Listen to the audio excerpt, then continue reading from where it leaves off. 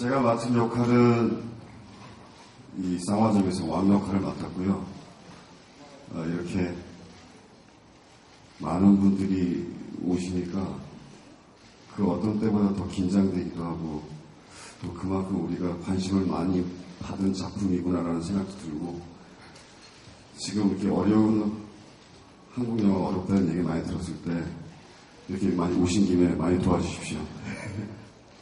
네, 촬영을 굉장히 오래 했어요. 근데 이렇게 제작 보고회를 하게 된 게 사실, 사실 조금 믿기지는 않은데요. 굉장히 떨리고, 아, 저는 와무 역할을 맡았고요. 이렇게, 이렇게 와주셔서 이렇게 관심 가져주신 거 너무 감사드려요. 감사합니다.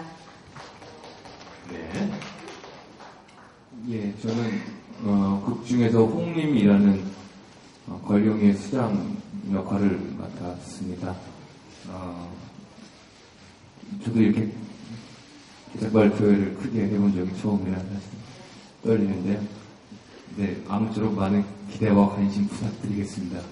도와주십시오. 네, 도와주십시오.